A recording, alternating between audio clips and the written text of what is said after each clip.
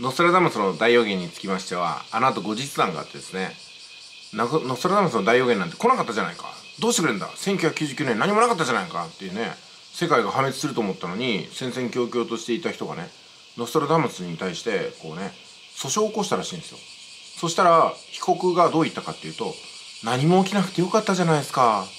いや世界が滅亡するよりも私一人が怒られるぐらいで済んで本当によかった。ですからね。いや立派なオチを用意したもんですね。確かにそうだ。いらっしゃい。